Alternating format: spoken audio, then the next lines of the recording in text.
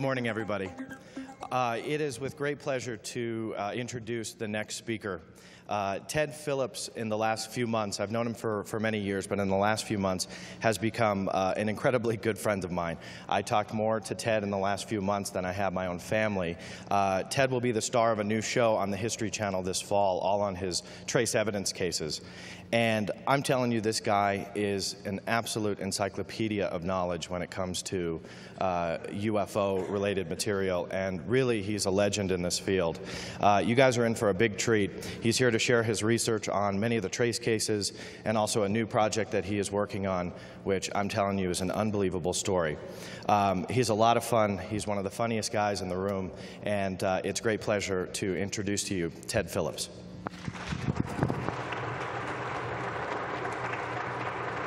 Thank you, John. luck, Thanks. yeah. All righty then. I tell you, I have had really uh, a great deal of fun this weekend. Uh, I live kind of like a hermit down at Branson, Missouri, back in the woods. And uh, I've always been that sort of person. And but it's so great to get out and see all you guys that I've known for years and meeting new people that are getting into the field.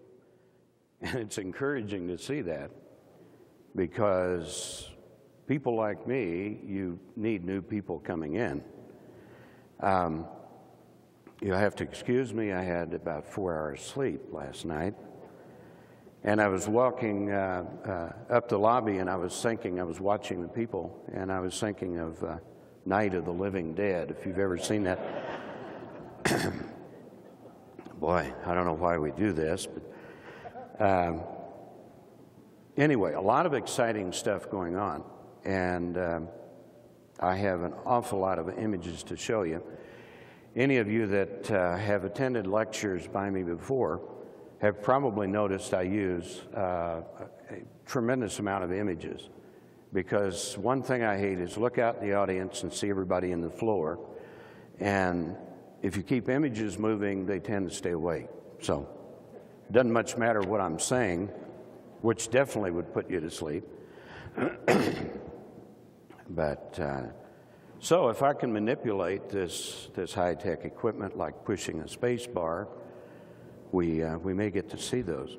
Um, the Center for UFO or for uh, Physical Trace Research, uh, I started in 1998, uh, not as a big deal, but as a, uh, a place to centralize the physical trace cases, and uh, not interested in taking over anyone's private case or anything like that, but simply in getting the data into the, the catalog. Um, I love computers when they work. And um, right now I have five old computers. One is working. And uh, so it's, it's, it's kind of a hassle getting the data converted into the computer. I had uh, a nice, long, pleasant conversation with the incoming director of MUFON yesterday.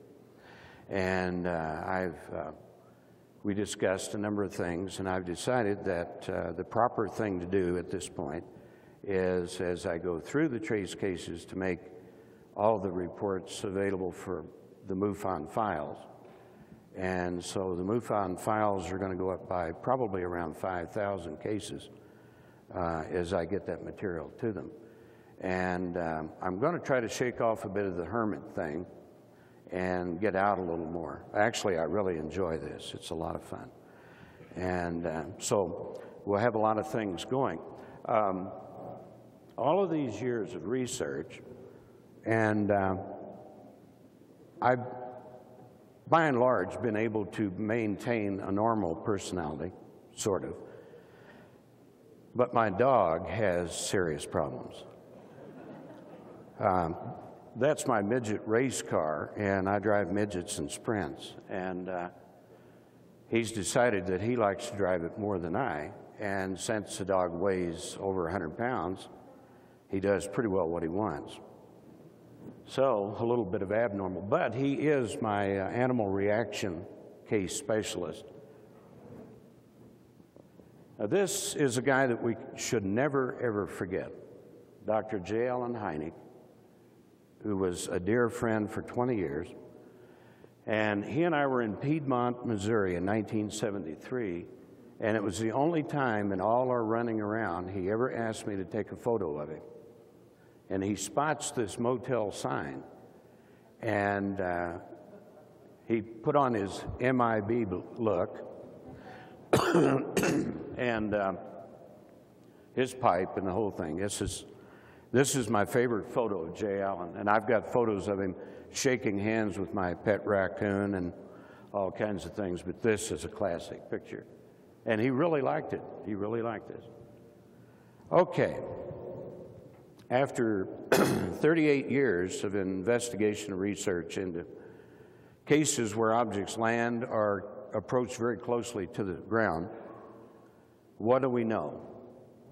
We know that there are 3,162 reported events, which is an extremely fluid figure uh, because I'm taking cases out that turn out to have different answers uh, that don't fit the protocol or entering new ones, so it's ever changing. Very significantly, and Stan Friedman loves to quote this figure from 91 countries. In those files, 1,307 of the cases are multiple witness. So we have a lot of good, well witness cases. Almost 2,000 of the, of the cases, witnesses were within 100 feet of the UFO. And if you're within 100 feet of something, you can tell if it's a Goodyear blimp or maybe Venus coming down. 1,068 of the observations had a duration of over five minutes, some of them even up to two hours. And uh, that gives you a lot of time to make determinations. And one figure that Stan really loves 741 involving little critters and uh, the humanoids. And as you look at these cases, by large, the uh, uh, percentage involves little three foot guys, three and a half, three foot. And that's very consistent all over the planet. Um, what's interesting is that about 2,500 or 80% of the landings took place in rural areas and not only in rural areas, but the things tend to land on the most isolated part of a farm. My observation would be they don't want to be seen, they don't want to be bothered. When the, uh, the farmer's dogs start barking and the farmer gets up half naked and goes out in the woods approaching this thing, as he nears it, the object doesn't stick around and say anything, it takes off very quickly. If there are little guys outside the object and they spot the farmer, they go inside and away it goes.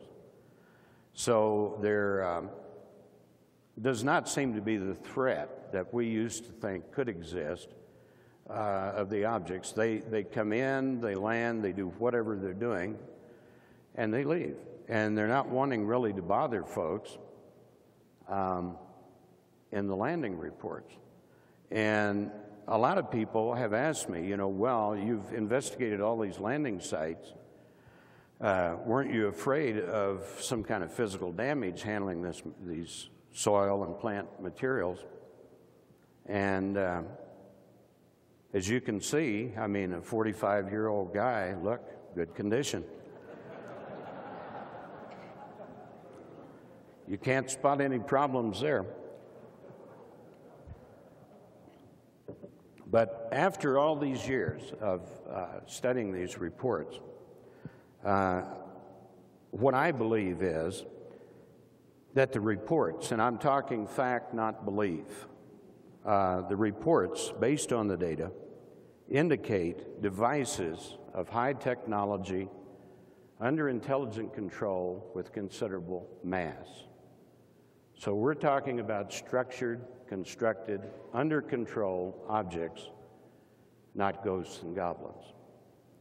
High technology because no matter what year, what period of time they are observed in and reported, the technology is always beyond that of that time period. I believe that the intelligent control exists because of delicate maneuvering that they've had to do many, many times in, to get into and out of very small areas with a lot of obstacles in their way. And of considerable mass because we have done uh, analysis on the imprints that they leave behind. In the old days, the objects were pretty large. They were uh, 18 to 30 feet, classic saucer with three legs. Uh, the egg shaped objects about 18, 20 feet long with four structured legs. Well, when they would land, of course, the landing pads of those legs would go into the ground, leaving imprints. And so we would do compression, soil compression testing of those imprints. And we never tested an imprint that indicated uh, a weight on the part of the object of under eight tons. And in some instances, about 18 tons. So that's the range. Um, and when you're talking about that kind of weight, you're talking about something real. So in 1968, over dinner, Allen Hynek asked me to begin specializing in these cases. And uh, he was a very far thinker. And uh, he said, What would give us the most valuable information in all the types of sightings? And I said, Well, maybe radar visual, except we can't get it generally. And so he settled on the physical trace stuff, and uh, I'm amazed at how right he was. Um, over the past 20 years, however, uh, the, the objects, the landing, near landing objects, have changed, and they've changed a great deal. We very infrequently get the reports of the classic metallic saucer, 30 feet in diameter, are the egg shaped objects landing on legs, occasionally, but not very often anymore. What we're seeing now, the change, is we're dealing with objects one meter or less in diameter, very small, basketball, beach ball size, and in some cases, uh, baseball size objects. And the trace cases are way, way down over those 20 years. They peaked out in the late 1970s. We were just covered with the things. And I believe part of that, uh, the decrease in uh, reported events, is due to um, the fact that the, the, sites now are very small, and you might remember that if you're going out to investigate uh, a uh, land case. And what we find mostly now are small, conforming to the size of the object, slightly depressed, or in some cases, a pretty hefty depression, um, scorching, and it's very easy to walk by. Uh, you have to look at, uh, which I'm going to make available, uh, photographs of, the, of, these new types of sites, and you'll have some idea of what you're looking for. And uh, so it makes the job a little bit more difficult because you could easily go by them. Now, uh, when people say, Where's the proof? Uh, this stuff is not real and all that. One case has always stood out in my mind um, in which a couple of boys were out in the yard playing. A two foot metallic disc came down, straight down, and landed between the two. In other words, it was quite close, and it was daylight. And this thing sat on the ground for a few seconds. It did a couple of rotations. It took off vertically to a height of about 20 feet, stopped, and hovered. It then went straight up another 10 feet and hovered, and then carefully maneuvered its way around tree limbs and telephone lines and then shot off to the southwest. Now, the really interesting part and significant part of this, not only is it a very close encounter, but a CIC special agent named Charles Victor investigated the case, and he found an area two feet in diameter where the ground showed signs of, and I quote, extreme pressure. This from a two foot object. And they said it was about six inches thick. And the significance is this took place on August 11th, 1948. So, my question is who had the technology to do this in 1948? When people want to attribute the stuff to Russia, China, Japan, maybe North Korea, um, it just doesn't fit. And that's the way these cases work. The technology is always higher than the time. The small objects also are producing great electromagnetic effects on vehicles of all kind. Um, since making a trip uh, with the History Channel to resurrect an old case and a very, very excellent case, one of the top 10. Um, I'm going through the files and I've pulled up over 650 cases in which objects have affected uh, vehicles of all types. And by the time I get to the end of it, it'll be around a thousand. And what I'm doing is I'm bringing in effects very similar to this rehash case to bolster it and to try to understand what kind of object did this and how it did it, uh, creating some very, very odd effects. So stand by. The report eventually will come out and it will be in the MUFON Journal. Dwight and I have discussed this. Some of the EM cases have even involved a change in color in the paint on an entire automobile. And you would be surprised how many cases like that have happened. So, if you want physical proof, how about an automobile? And there were lots of witness, witnesses to confirm that the object was a different color. And in one case, it occurred a man, his wife, and his wife's sister leaving home, and when they came back 45 minutes later, the neighbors see them driving in in a car of a different color. And um, they affect, of course, engines, lights, sometimes take complete control of the vehicle's uh, brakes, steering, acceleration, and sometimes levitate the vehicles a couple of feet to 10 feet off the road. And uh, so it's a fascinating study, and uh, it is quite fun. Now, there are all kinds of landing UFOs.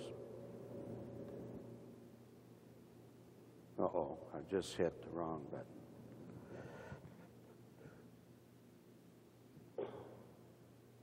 Boy, I'm, I'm just like Ken Storch said if it can happen, it will happen. And if I push enough of these, you'll see nothing. Hello, computer people.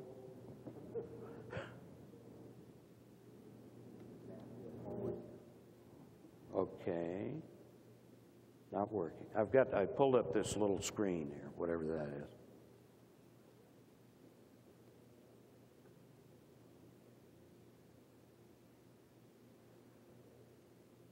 Oh, would you come to my house?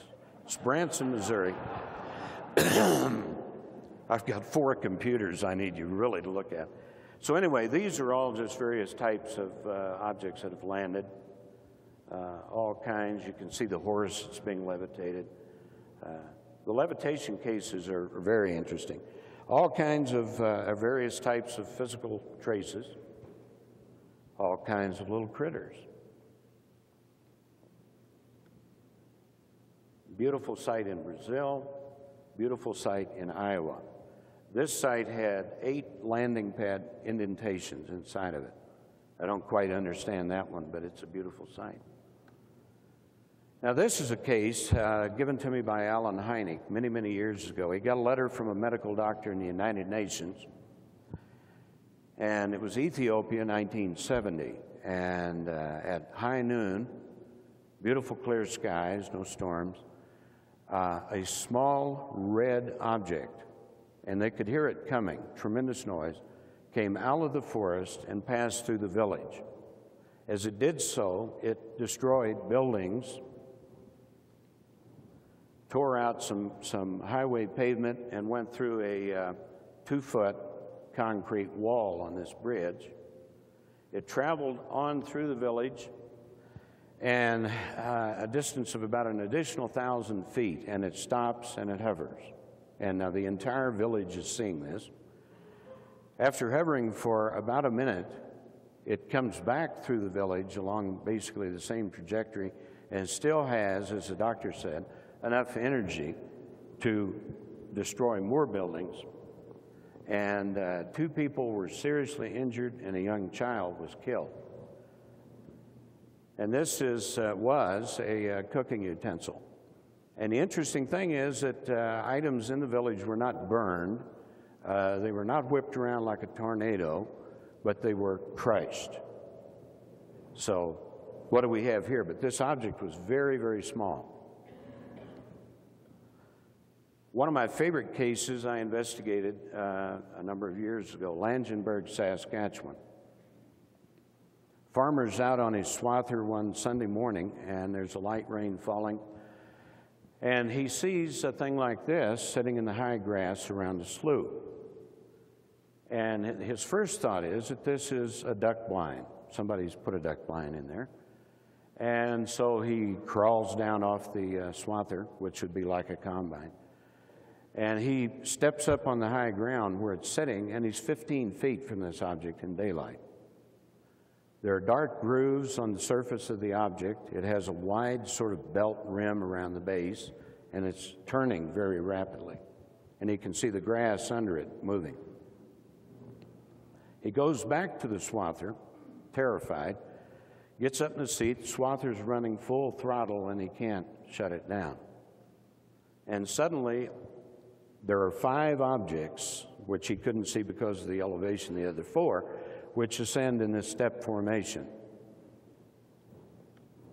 That's what they looked like as they ascended. They had two pipe like extensions with a, a six foot column of a white something. They reached the base of the clouds, about 300 feet. They formed a perfect north south formation and disappeared into the clouds. Now, Edwin Fuhrer was a 40 year old, wealthy, highly credible uh, witness. And he was so stunned by this um, that he was not going to tell anyone. And when the family came home from church, uh, he went up for lunch. And his mother, as it always happens, could tell something was badly wrong with Edwin. And she pushed him, and he finally told him the story. And at that point, his father said, Let's go see if they did anything. So he and his father went down. And what they found was five circular rings, the central areas undisturbed. And the, the plants, the tall, high grass, had been pushed down with great pressure uh, tightly to the ground. This particular site um, you can see the two probe marks that come out. He could see, while, while he, uh, uh, when he got up on the swather before they ascended, he could see two rods coming out of the uh, number two object. They were turning and they were making grooves in the plants. Now this is, uh, you can see the edge of ring number three and, uh, uh, or four and ring number three. Um, before I go to this one, however, the, uh, I talked to the uh, RMCP or RCMPs uh, who investigated the case, um, Ron Morier, and they did a very thorough investigation. A lot of photography. They tried rolling a tractor tire in. Of course, it left a track when they rolled it in. And he said uh, there was no entry uh, area or exit area. He said whatever made these rings came out of the air and left the same way.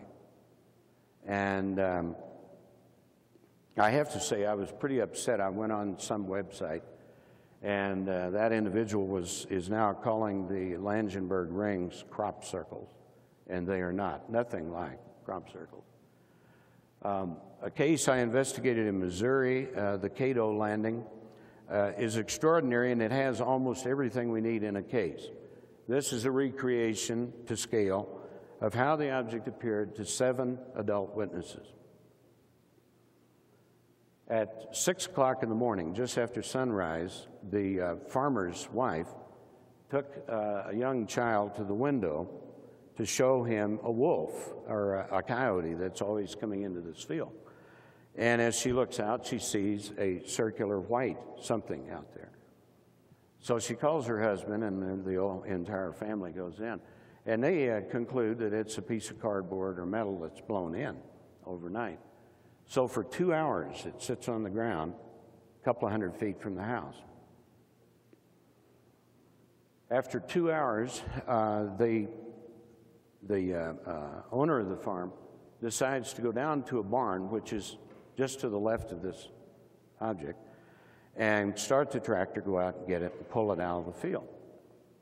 And as he reaches the barn and fires the tractor, everybody on the porch starts screaming.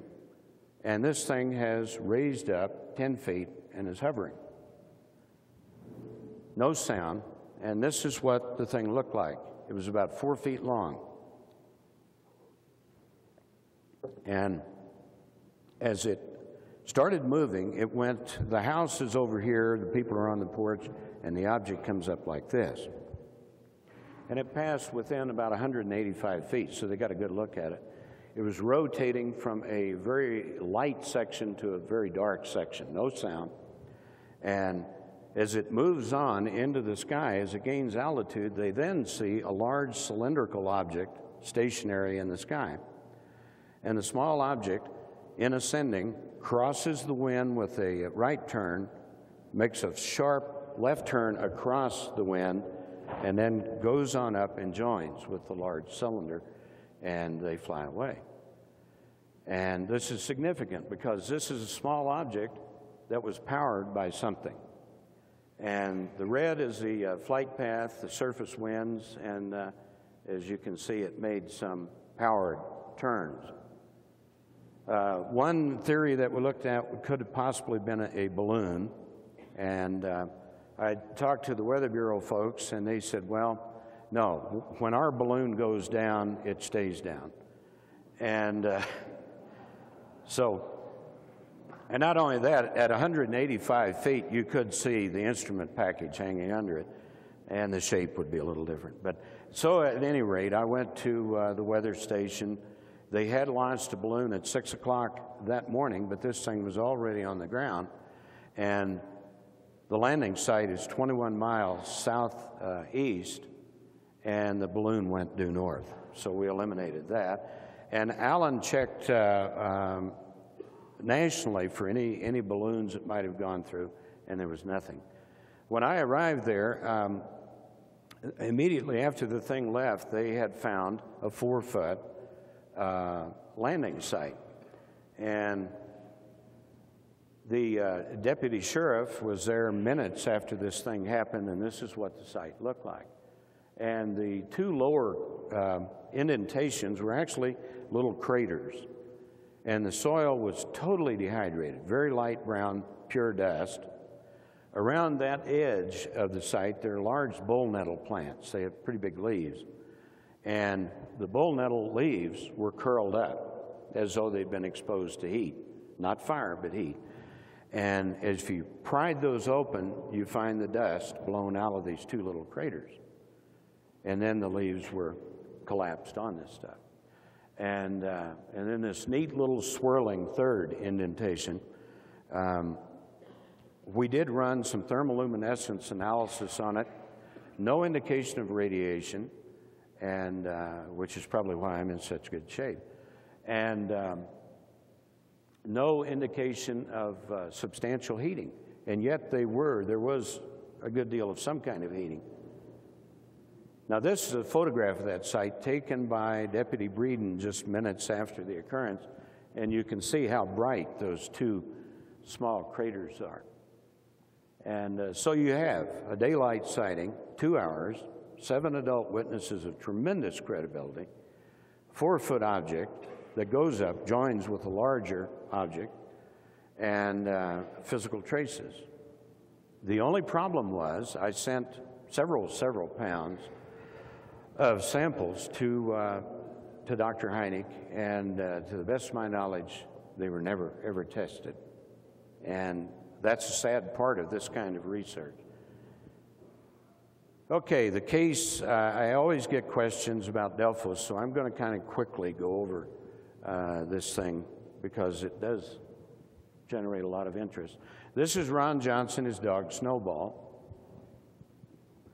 And in 1971, Ron is tending his sheep, where it says er, uh, Ron, and um, it's after dark. The whole area out there is a shelter belt behind those hog sheds, and um, no lighting at all. And as he is uh, uh, feeding the sheep, his mother calls from 250 feet away at the uh, back door of the home and says, Ron, come to dinner. And Ron yells back, Okay, mom. And immediately this thing lights up and starts rumbling. He described it as like the sound of a, uh, an old washing machine out of sync, vibrating. And he stands there looking at this thing with his dog, and um, he's standing right here where the sheep's at, and the object is right there where the arrow indicates, and you can see the camera tripod sitting. So he's a little less than 40 feet from the object, and this thing is like eight feet across, six feet tall, and tremendously bright, and the color is changing. And he said there was something shooting out that looked like flames, and it's rumbling and carrying on. And as he continues to watch, he sees coming from the base of the object a luminous spray that is falling towards the ground. And what is so intriguing is that the luminous spray falls four feet and stops. A foot lower on the ground surface, he sees uh, a white fog or haze about an inch or two high forming in a circular pattern. So this is forming from the ground, and the spray is coming down, but there is almost a foot of nothing between them. So that's a big question. And this is what the thing looked like. The falling glow that didn't reach the ground. After several minutes, uh, and uh, there was always contention about, I always thought that uh, there was a great time difference between what Ron related to and what actually happened. Uh, every time I asked him, and he was pretty difficult to, uh, to get to answer a question, and um, I, I kept asking, Well, how long were you there? How long did you see this? And he would say, Oh, four or five minutes. And yet his mother and father watched a 30 minute TV show and half of another one. And so I, uh, as soon as I started determining these things, Allen Hynek and I tried to get Leo Sprinkle uh, to come in and work with this, this boy, and we were never able to uh, make all the connections. But, and now he will not subject himself to uh, uh, hypnotic regression or anything. He's terrified of this whole event. And for some reason, the last time I talked to him, he told me, and he believes, that if he tells anybody everything, that they'll come back and get his two kids. And he, he firmly believes this. Um, so, at any rate, after uh, uh, the object suddenly starts moving and the luminous spray stops, and as it's moving, the sound changes from this rumbling noise to a high pitched whistling sound, and it goes down through the trees, makes a turn, and ascends over the hog shed. And it was at that point, as it crossed the hog shed, he went totally blind. And I asked him, I said, Could you see spots like from a photo flash? He said, Just black. And he could hear the sound of the thing receding to the south. And in a fairly short time, then, he regained his sight. He and the dog ran to the house. He told his parents. His parents ran out. They saw it as like a big, bright wash tub moving away to the south. Over the years, I have, uh, I have found uh, a number of additional witnesses, and uh, those folks in that community don't like to admit that they saw a flying saucer. And so it's pretty hard to get it pulled out, but I'll get into that shortly.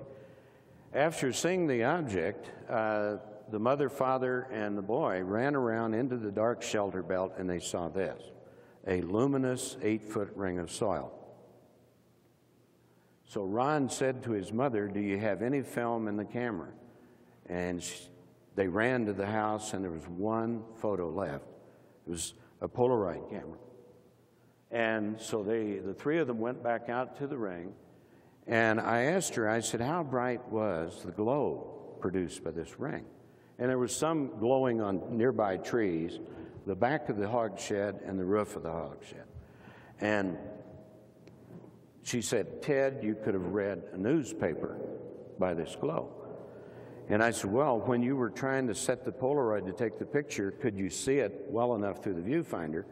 And she said, I could see to make the settings on the camera. So that's a lot of light. And uh, so for the first time, we have, that I know of, uh, a photograph of a landing site within five minutes of the ascent of the object. It's pretty significant. This is the camera. And yeah, it's not a great camera, but it did capture that. so I have taken this camera using the same film and trying to duplicate the shot that, that Erma got. And my shot is on the right, and as you can see, nothing like the shot that she got. And she did not use a flash. And in my shot, I had to use a flash because the flower on the ground didn't show up real well in the dark. This is a sketch of how the object left the area. There was a, uh, a fallen tree, seven inches in diameter, along the flight path where it came in and then went out. Broken tree limb, broken eight and a half feet above the ground, twisted and pulled down. It had originally extended out over the ring, and it was on this side, the object came in like this. Now, to see the difference in the soil, the control sample is normal soil taken from the center of the, of the ring site, the whole of the donut, and then the ring soil. You can see a little bit of difference. This is a photo taken 16 hours after the event by Sheriff Enlow, the undersheriff, and a highway patrolman. They saw Snowball the dog refusing to go anywhere near the ring. They then saw the dog running head on into a wooden fence, head on into a wooden barn. Uh, within two weeks, the dog was losing the sight in his right eye. They took the dog to a vet because he was swelling in, on the face, and the veterinarian extracted through the nose a thing about this long which was alive and was covered with like a billion and a half legs. And uh, of course, the vet had never seen anything like this. And it had affixed itself to the eye and was clear down into this area. The dog, of course, lost the eye.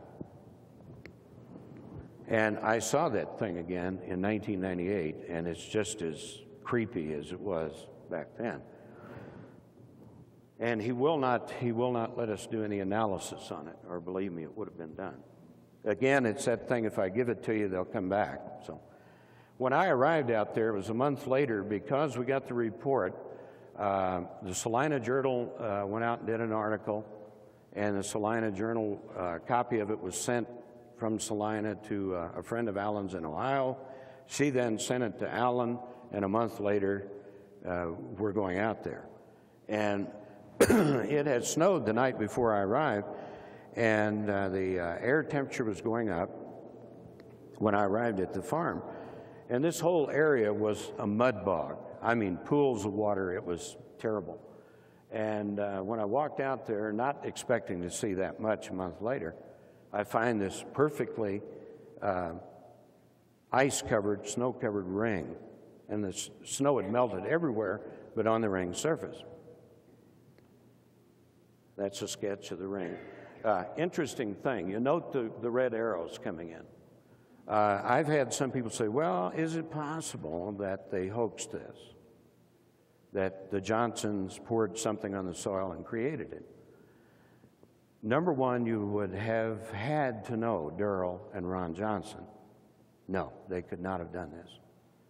They um, were Kansas farmers uh, not interested in high technology or flying saucers. And uh, they, believe me, did not have the ability to generate something that Oak Ridge Nuclear Lab can't identify. And first of all, how would they have known this? Where the red arrows are at, there is a gap in the ring. And it's the only gap in the ring. The ring, if you'll notice, is elongated on the opposite side. Those arrows are the wind direction, which I only learned a couple of days after that from the Weather Bureau.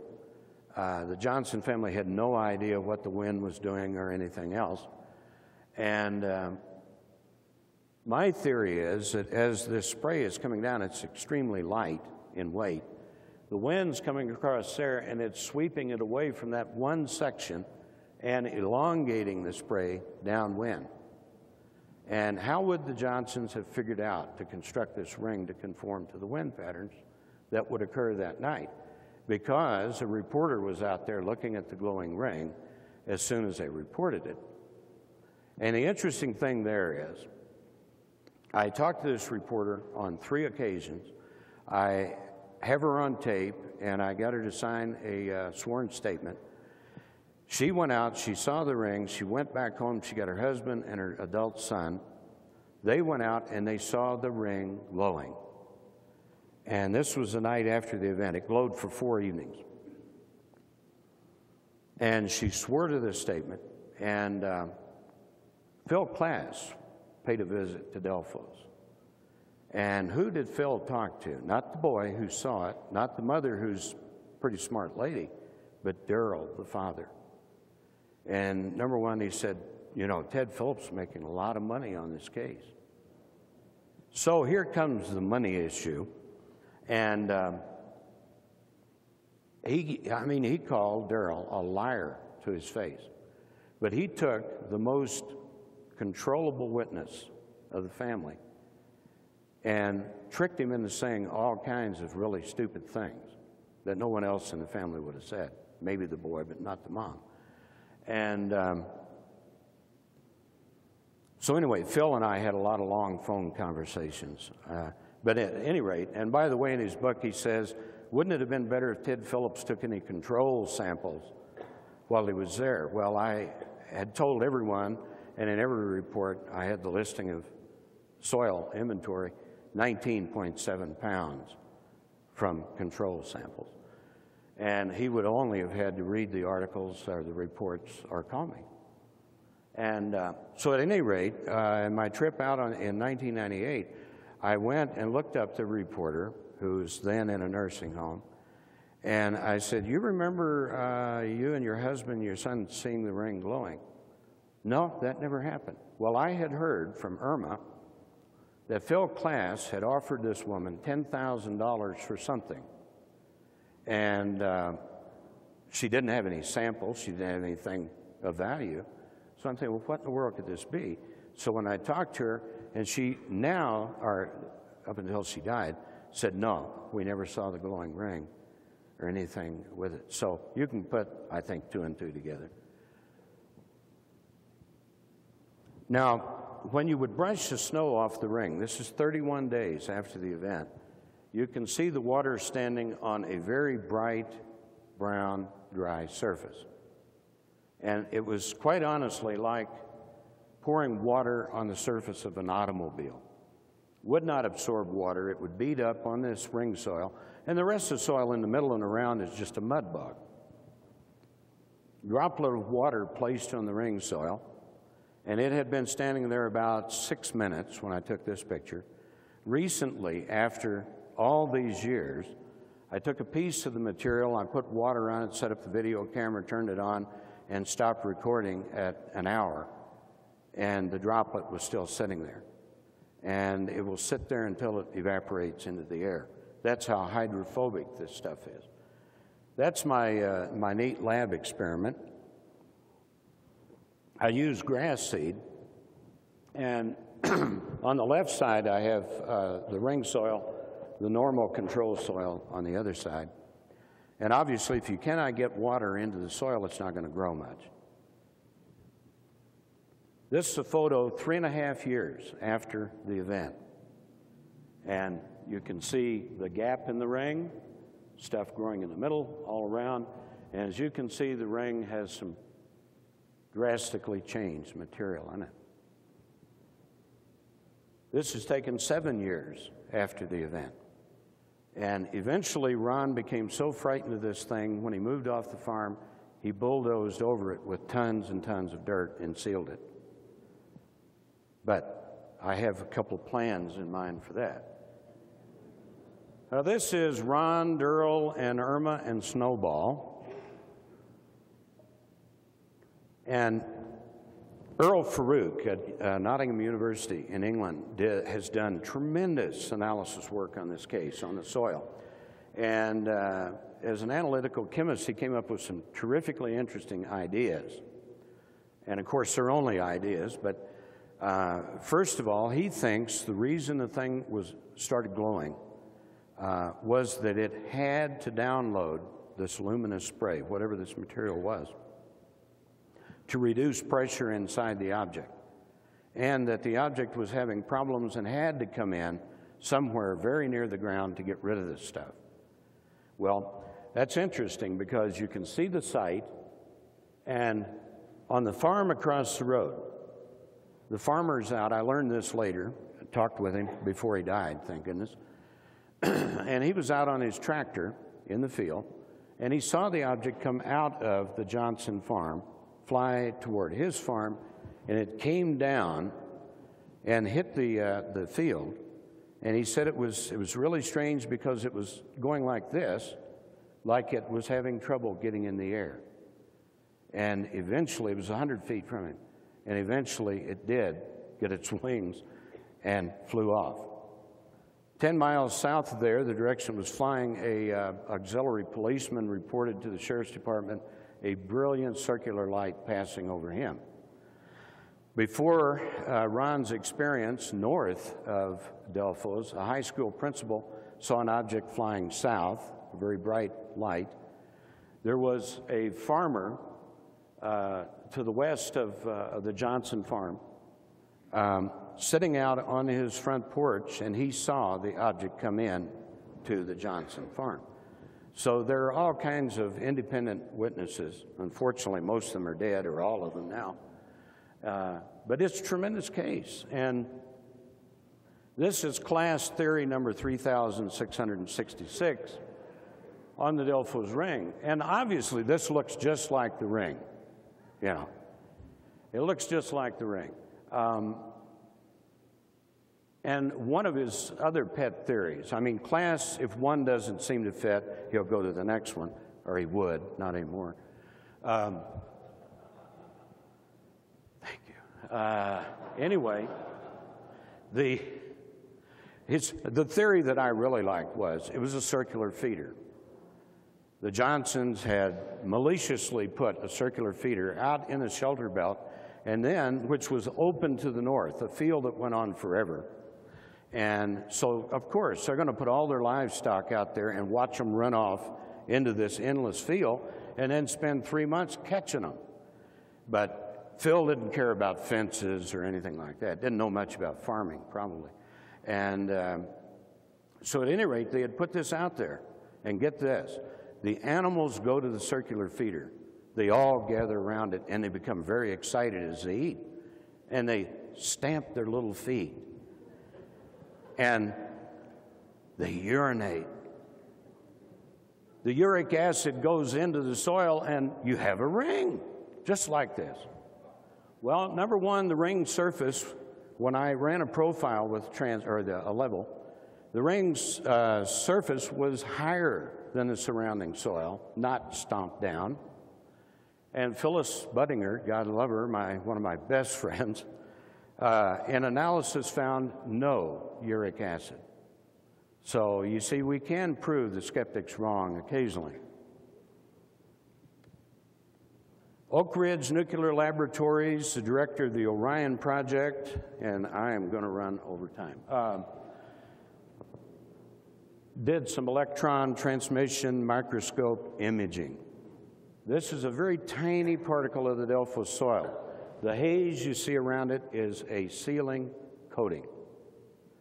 So they increase the magnification, and in that coating, they find these structures that they called icicles. And imagine this Oak Ridge Nuclear Laboratories, and we got a letter saying, with the pictures, no one had ever seen structures like this. And uh, then, about a week later, Allen and I got a letter from um, the director of the Project Orion. And at the bottom there, if you can't read it, because of changes in management at Oak Ridge, I regret that I will not be able to conduct any more material analysis for CUFOS. In other words, they were finding something of interest under heavy government contract, and we ain't going to tell you guys.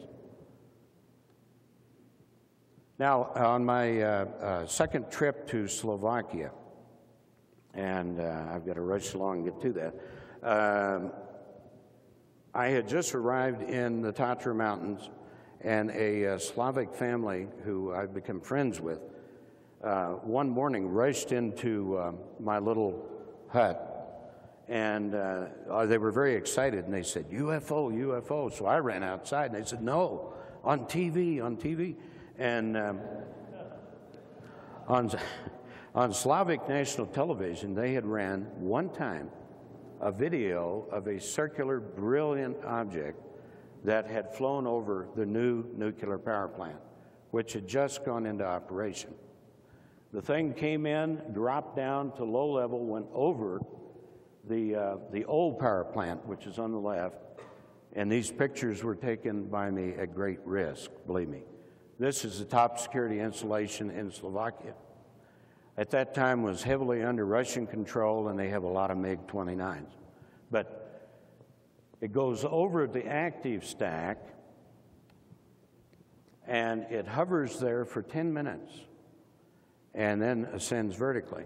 The cool thing is that when it started coming in, all the security video cameras on the installation started filming. So they had film of this thing in great detail from all kinds of cameras. So I had my friend, the father of this family, call uh, Slavic National TV and ask him if I could get a copy, sure, of this video. And uh, in the meantime, I'm on my way to Levice to try to find witnesses that uh, can speak a little English. And uh, I found a lot of people that were willing to say, I saw it, yeah, but no details. And uh, the station manager actually did call Meos back, and of course she said, Well, you know, the military took that video, so we're not going to get to see that.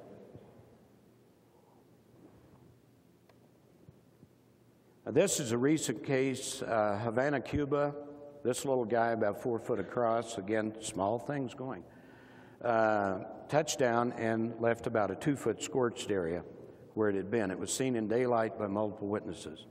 And uh, I think I'm more fascinated by these small objects than the, the big old crashy guys that used to be around. Now, since 1998, I've been investigating an area which has a lot of ongoing activity. Two or three times a week, you can see uh, all kinds of occurrences. And I actually, well, I took this photo, and uh, pretty weird stuff the uh, aerial displays produce all kinds of interesting things. In this one, very briefly, I had set up a, uh, a video camera by this windmill to try uh, to capture some of this stuff at night. And the owner of the property every evening would go out, power up the camera, and put in a new videotape and turn the thing on.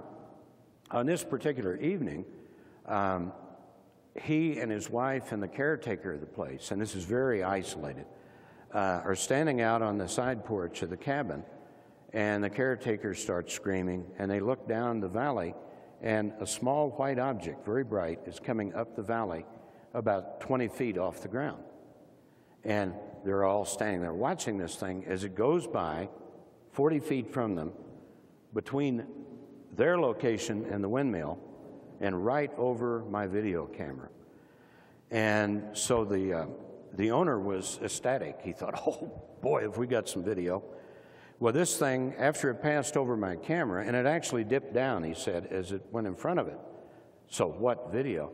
And it made a supreme left turn just past the cabin, and there was a car leaving with people in it, and it fell in behind and followed the car down the lane.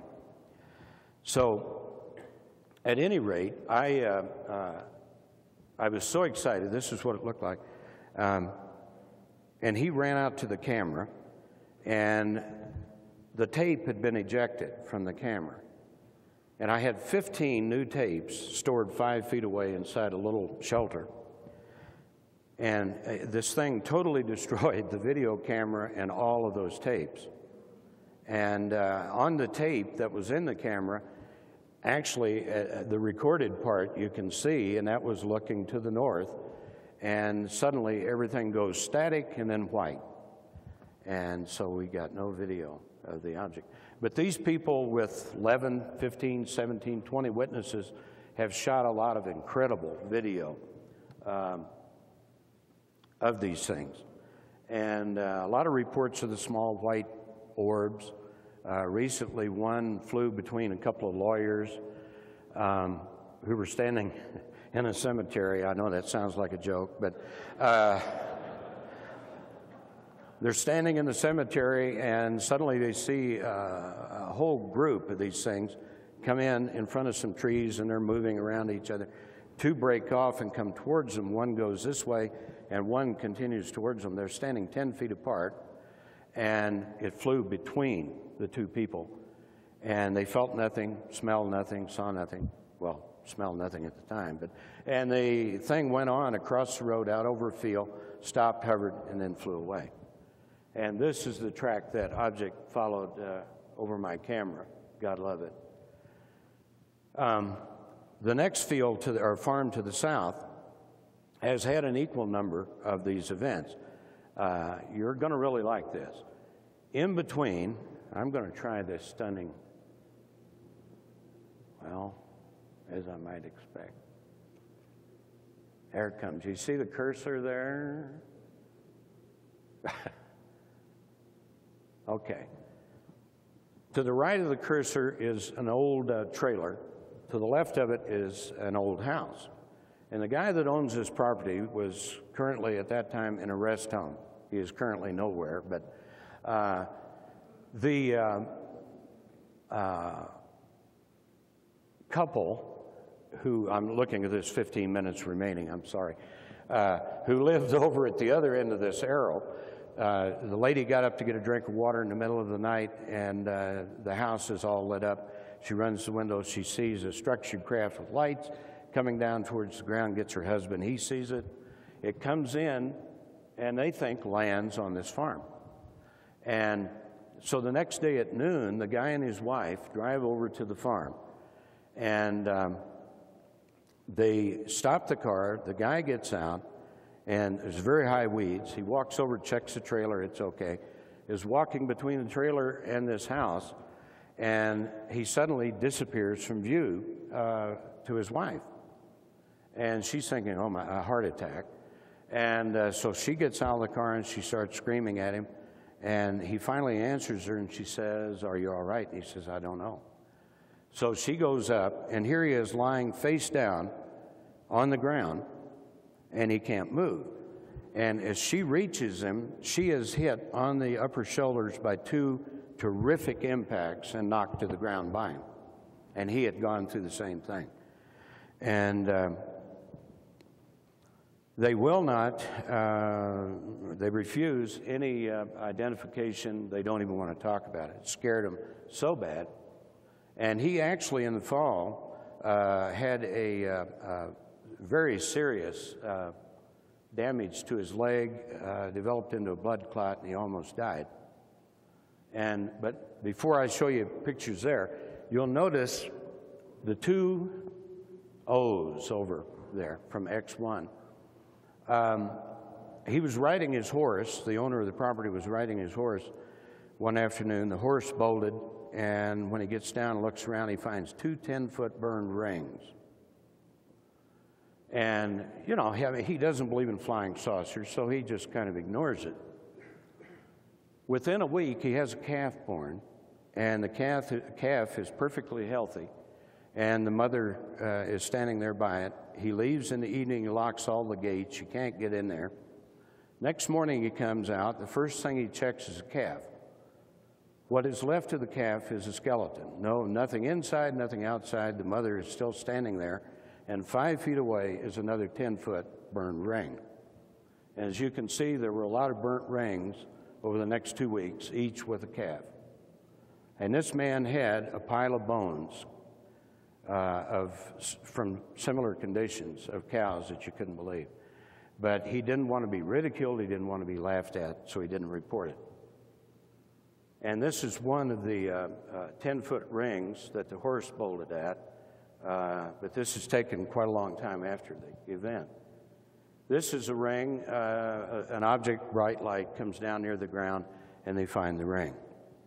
And it is 10 feet in diameter. And this is on the North Farm, the first one. Okay, I really got to rush this, but this is my uh, premier event.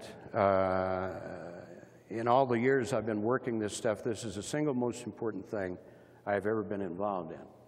This is Antonin Horak, uh, a Czech engineer with four degrees in engineering, a couple of degrees in business management, speaks seven languages fluently. He's a very, was a very bright man. In 1970, I received a call from uh, an investigator with APRO, a friend of mine, and he said, You got to come out uh, to Denver and talk to my neighbor and listen to this story because uh, this investigator knew that I was a cave explorer and uh, into the physical evidence thing. So I went out, and uh, the wife and I, and we talked with him extensively. He maintained during World War II a diary, daily diary, and it's the best reading. I mean, it's better than anything you've ever read uh, in very great detail. This was uh, this this is his home, was his home in the uh, North Czech Republic, uh, which was then called Bohemia. And this had been in the family for, uh, oh, a long, long time. They had a lot of uh, uh, property. They had timber. They had uranium mines. Uh, Tony sold the first uranium specimens to Madame Curie in the early 20s. And very, very wealthy people until the Nazis decided to take over Czechoslovakia. Um, in 1970, I was looking at these sketches and uh, in his home, and I photographed them directly from the diary. This is two pages. And um, I was so caught up in this story that uh, I called Allen Hynek, and he met Ginger and I in uh, Las Cruces, and I showed him what I had. And then he flew up and talked to Tony. And we were so impressed that we decided we have got to mount some kind of expedition. And so uh, Jim, uh, through Jim and Coral Lorenzen, uh, Jackie Gleason agreed to fund my first trip over there. That would have been in 1970, and unfortunately the Russians had just invaded Czechoslovakia in 68. and we had four contacts that would get me supplies and so on. And the Russians arrested all four and killed them. So that kind of killed the expedition. It was far too dangerous. Now, uh, let me tell you very briefly of what happened to this guy. Uh, when the Nazis took over, they took everything they owned down to his wife's wedding rings, put him in a concentration camp, He was there from 39 to 41. He escaped in 41, uh, escaped to Slovakia, and joined the Slavic Underground Army. He was then an Army captain, and he had a battalion of 184 men. They were in a heavy firefight with the Germans. All of them were killed except Tony, Martin, and Yuri, and they were left for dead, and Martin with very serious wounds. A sheep man comes along the next day and finds them, treats their wounds, built a stretcher, and took them up into the Tatra Mountains to his cave. The cave had a very small opening and it was closed up with rocks.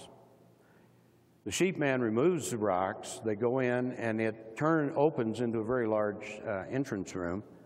And here he's going to hide them from the Germans. And he starts going through the holy rites, blessing himself, the cave, and everyone in it, which Tony found kind of unusual. And there was an opening going on back at the end of this room, and he said, Please don't go back in my cave because it is haunted and very dangerous. And so Slavic left, and Tony got his rifle, torches, and a carbide light, which I have out at my table, um, and went on back in the cave, which is what I would have done. And after going about two miles in the cave, I'll show you through his close ups of his sketches. Um, he's coming through here. And at that area, he comes into a long, level corridor. At the end of the corridor is a crawl space. He comes through there, and his view right here of this open or this wall right here. This is 25 feet across the room, and it's about 30 feet high. And this is the height of a man, give you some reference. So from this point looking here, this is what he saw. And what he's seeing is exposed black, satiny, mirror like material, no seams, no rivets, no anything. And it is framed by very large cave formations. And if you know anything about caving, those formations take a few years to form. Well, right through here, he can see a crack coming down. And where it meets the cave floor, it's just big enough if he gets naked, he can go through the crack. And if you've ever been in a cave with all those rocks, you don't want to do that. But as he slides through the crack, uh, he can measure the thickness of that outer wall. It's seven feet thick. He gets through the crack and he rolls down the floor to this point here into the back wall. And what he finds himself in is a large structure that goes up right here the outer wall, the inner wall. So it's like a vertical shaft, 16 degrees off of vertical. And he could never determine, could never get enough light to find the top. And uh, he goes back to the camp to get more supplies, doesn't tell Yurik or uh, Martin about it. And every day he returns a couple of times to this to survey it, to study it, to try to get samples. He fired his military rifle at this point on the wall to try to chip a piece off, and it didn't even scratch this material. And he found by digging right here that this is a limestone accumulation, drippage. And he went down through five feet of this stuff, which means about 6,000 years. Beneath 6,000 years of limestone, he finds the skeleton of a prehistoric cave bear. He takes three of the teeth, which I have, and uh, after the war, he went to uh, a museum in Uzhhorod, Ukraine, and the curator identified them as prehistoric cave bear. So what we're talking about is 6,000 years of limestone, a cave bear that's been dead at least 50,000 years, perhaps a million. Beneath the cave bear, it's lying on a curved, wavy grill. And I think, yeah, this is how that appeared. And it went on down, and he thought he could feel heat, so he put his ear and cheek to this grill, and there was considerable heat coming up to it. And far, far below, he can hear what sounds like a turbine engine. And uh, you've got to remember, this is an engineer. This guy, and he had been directors of mines, very familiar with subterranean sounds. So it becomes really interesting. What are we dealing with? This is how the thing would appear from above. That's the configuration of it. This is that outer wall, the crack in the room. And he said, without question, these are constructed mathematically curved walls. And um, so he's, he's sitting inside this thing, writing the diary, doing the sketches, and pondering what it might be. And the last thing he wants to see is tomb robbers getting in before scientists. So on the cave map, which he gave me, when he came out the last time, they were going to rejoin their uh, unit uh, in Kosciuszko, and they had been in there for seven days. Um, he decided that he would obstruct the cave passage where it became crawlways in three places so tomb robbers could not find the artifact if they did find the cave.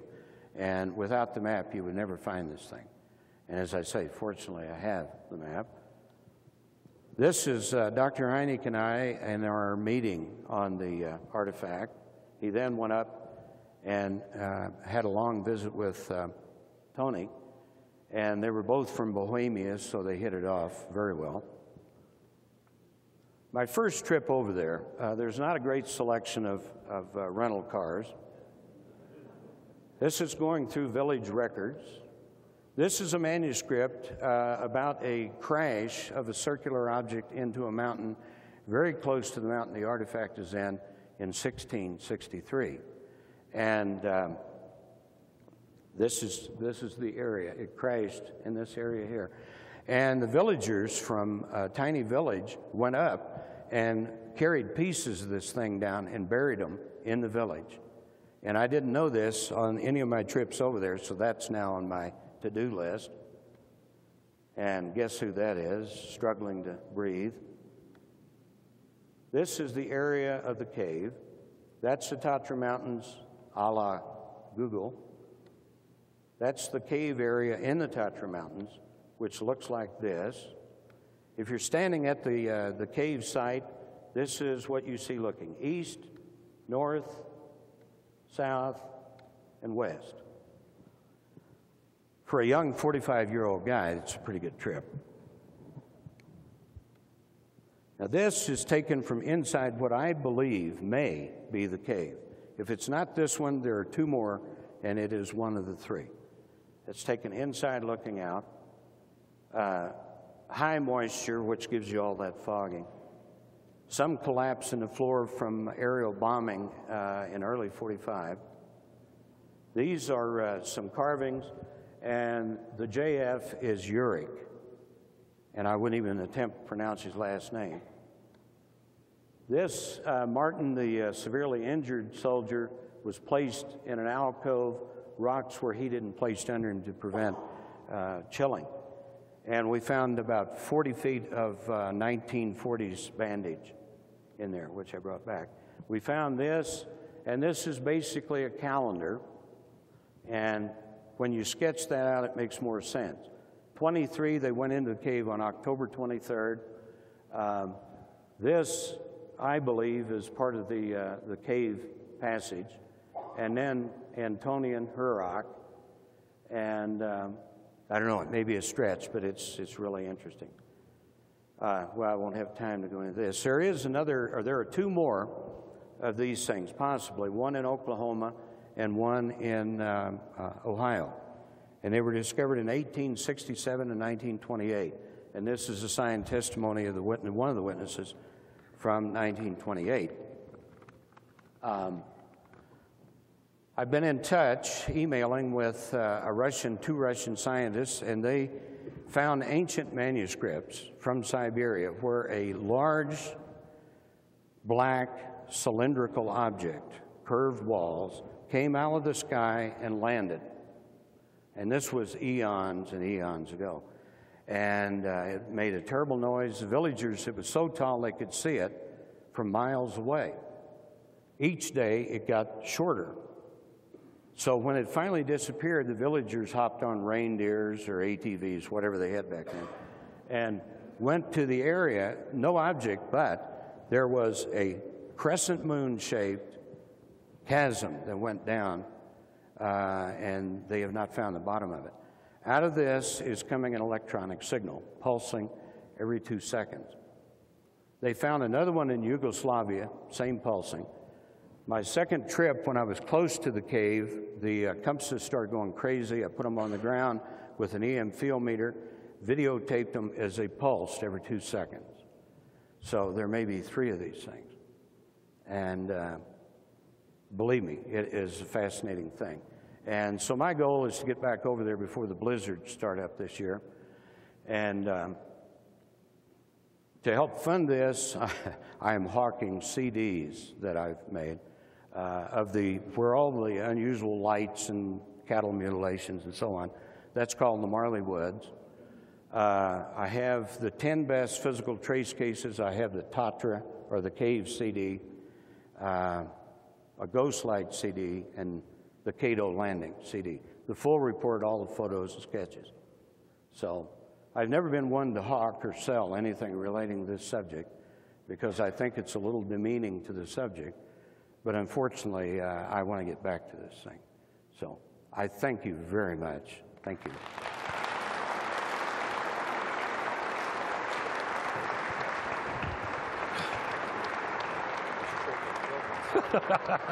Luckily, I didn't.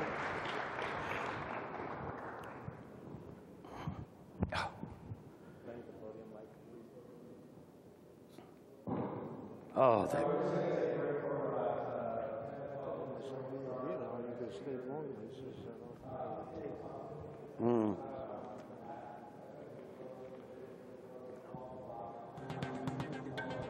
Yeah, you get into problems when you rush. You've got to rush, you know, and boy, when that 15 minutes came on, it just, boy, it takes so long.